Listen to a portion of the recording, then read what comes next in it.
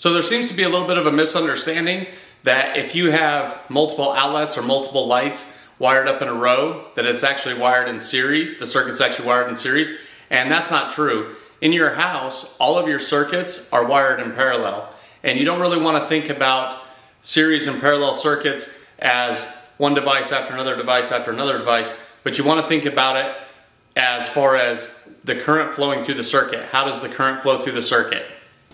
So if we look at a series circuit, what you have is a power source, and you have a device, a device, maybe these are lights or something else, and your circuit returns to the power source. So right now there is only one path for the electrons or the electricity to flow. So if any of these devices go bad, it breaks the circuit. And so you probably remember the old Christmas lights or somebody talking about the old Christmas lights to where you'd plug in a string of lights and it would just be one light and the next light and the next light and the next light and so on. And remember they would say, oh, if one bulb goes out, they all go out. That's because there's a filament in each one of these bulbs and that filament is actually creating a jump from one wire to the other. And so if any of these filaments burn out, like let's say we lose power in this one bulb, now you've broken your circuit. So that would be the same thing as you cutting a circuit here. Like let's say this circuit up here got cut, it's going to break this circuit and it's not going to work anymore. There's no path for the electrons to flow or the electricity to flow around the circuit and it'll stop working. In a parallel circuit, you still have your power source, but it's different than a series circuit as you have multiple paths for the electrons or the electricity to flow around the circuit.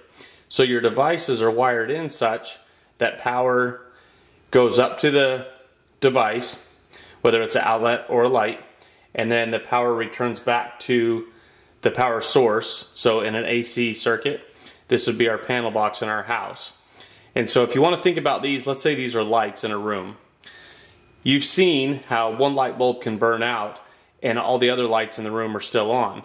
And the reason that works, let's say that th these are lights, this light bulb burns out. In a parallel circuit, you have multiple paths for the electrons to flow. So you just broke the circuit here. And so no electricity is flowing through that bulb anymore because that filament burned out. But you still have electricity flowing through the other bulbs lighting them. And remember in your Romex wire, you have two conductors. There's three wires. The bare ground wire is just a ground, it's not a current carrying wire. But you have your black hot wire and you have your white neutral wire. So let's put it in terms of Romex wire.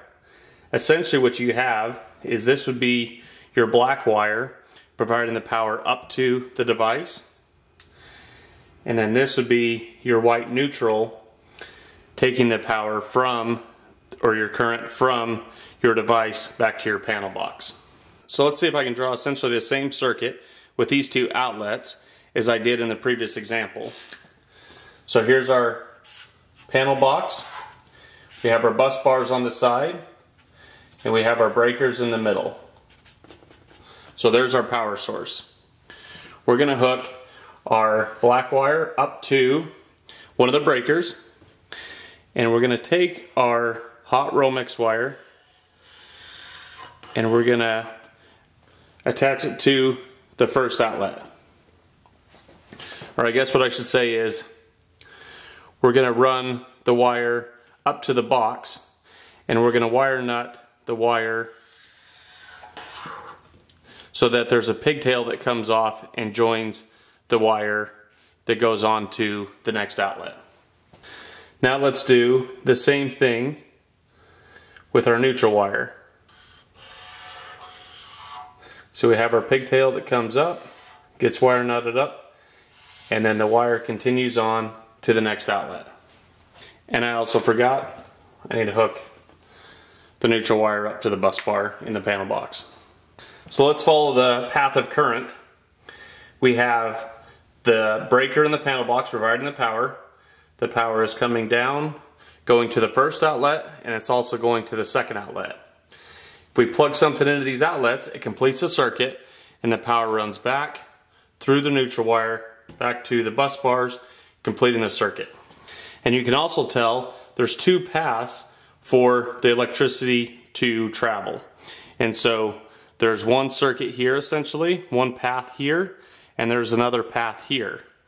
But let's say this outlet goes dead. So now this outlet no longer completes this circuit even if it has something plugged into it. You still have a path of electricity through the other outlet. Now this does look a little bit different here because I've split the wires apart, but essentially all you have is, is Romex that comes up to the first box, Romex that comes up to the second box. And all I've done, like I said, is just split these apart when really all it is is one wire that comes up to the box. You hook up your hot, you hook up your neutral, and then that's what completes your circuit. So here's a little example I wired up. And this is essentially what you'd have in your house. You would have your current coming from your black wire and going up to each light. And then you would have your neutral wire completing the circuit back to the panel box. So in a light bulb, you have your hot side, which is the middle portion here, and then you have your neutral, which is the outside portion. And in the inside, you'll see that this hot part will touch the tab down here in the middle, and the neutral tab will touch this outside, completing the circuit. Okay, I'm gonna go ahead and plug in my demonstration, and then I'm gonna go ahead and start putting in lights. So in your house is essentially what's going on.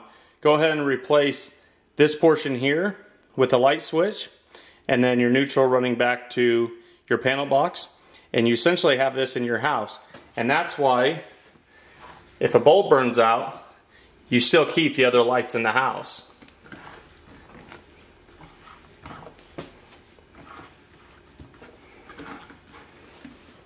I hope this video helps you understand a little bit more about series and parallel circuits and how they're different.